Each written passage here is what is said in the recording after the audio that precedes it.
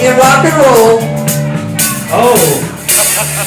And a ain't Creedence Creedence Clearwater Revival. Oh, you mean Mick Jagger? You know, you know what I'm thinking is, ladies, even if you don't have a glass, just hold up that imaginary glass.